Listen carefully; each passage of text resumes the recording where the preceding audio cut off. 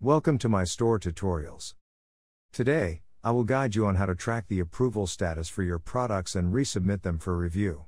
Let's get started. Log into your Mystore admin panel. Navigate to the Approval section in the Mystore admin panel. In the Approval section, you will find a summary of the approval status for all the products you've added.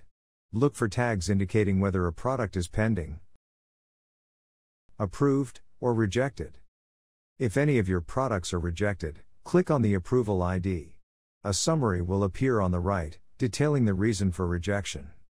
Now, once you are aware of the reasons for rejection, you can go to the products and make the required changes.